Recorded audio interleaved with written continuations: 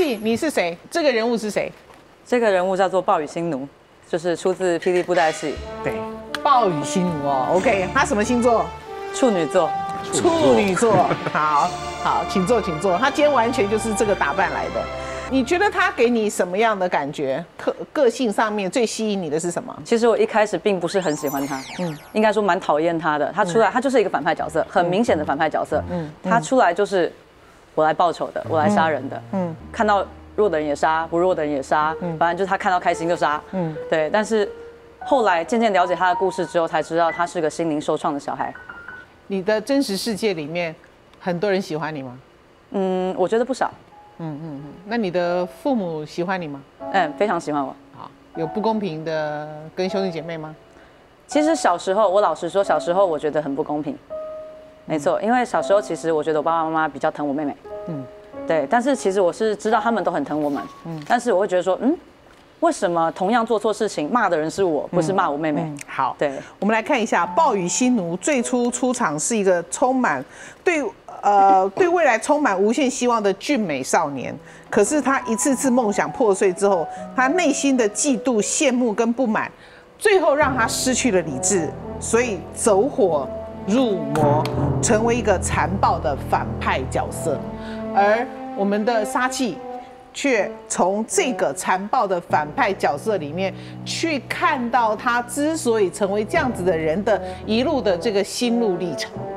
对不对？是这个过程让你对他有很多的理解。对，就是我觉得他其实内心还是渴望得到爱的。嗯嗯。但是因为他种种的遇到了种种事情，然后导致他的心灵上扭曲。嗯。然后其实我是觉得一开始我觉得很讨厌他是。他怎么砍掉我这么多喜欢的角色啊？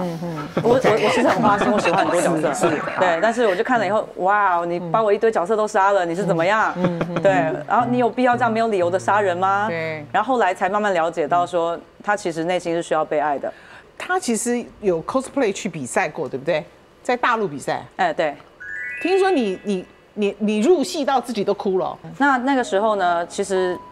刚开始才踏入就是 cos 的这个领域，还不是很会的状况下，我为了这个角色，嗯就是学了呃弄衣服，嗯做道具，嗯然后做他的那个，他头上有个很大头饰嘛，嗯就自己生了一个头饰，嗯然后学了化妆。我一开始不会化妆，我一开始非常的扯哦，大家女生应该都会觉得我很扯，男生可能也会。我保养品跟化妆品我不知道是不同的东西，对，我知道。开始要做 cosplay 之后，嗯，才慢慢的碰到化妆品，然后才开始学习化妆。为了他，是，然后学会了很多事情。所以也就是说，他的融入这个角色，因为他去参加 cosplay，所以他也因为这个角色，他让他的整个人生经历变得很丰富，也因为这样交到很多的朋友，对不对啊？所以。就对他来讲，跟他们单纯的喜欢是不太一样的，嗯，因为他要融入这个角色。那你今天对我们讨论的这所谓的二次元的虚拟的一个恋爱，或者是说这种呃感情的投射，你觉得有没有想什么想讲的？觉得很多时候大家会喜欢就是某一个二次元角色，多少你自己的心理状态可能某一个部分或是很大一个部分，anyway，反正一定会有那个 part 是跟他像的，对，或者是你有可能想要从他身上获得了什么东西。可是我的意思是说，不玩这个的人会觉得你们很疯狂。呃，对，一开始我在接触这个东西的时候，我的一一些不理解的朋友们就会说，在干嘛呀？每次把一个好好女生把自己画成这个样子，有这个必要吗？嗯嗯。那那我是跟他们讲说，我喜欢你管我啊。嗯。对，而且我自己做开心啊。嗯。而且我从我告诉大家一件事情，就是我从 cos 这件事情上面学到了很多。嗯。因为接触了二次元东西，我也学到了很多。嗯。就是无论是心理状态、技能什么也好。我因为这个角色去学了很多身段，然后我得到了就是大陆那个两岸的 cosplay 比赛的第二名，对，当时第一次比赛得到第二名，后来渐渐的让我有了自信心，有了勇气之后，我再慢慢的参加了比赛，前一阵子吧。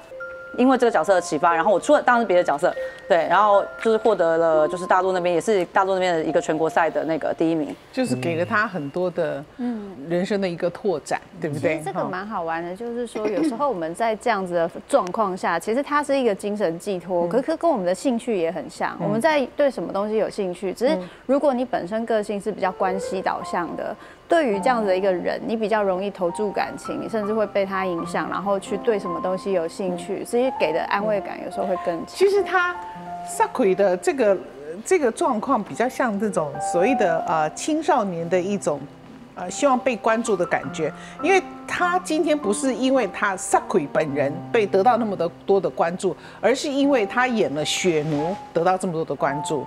所以我以前在支持很多呃这些中辍生或者是这些孩子去跳三太子的时候，他他们太辛苦了，然后我就说算了，你不要跳了，看学费多少钱。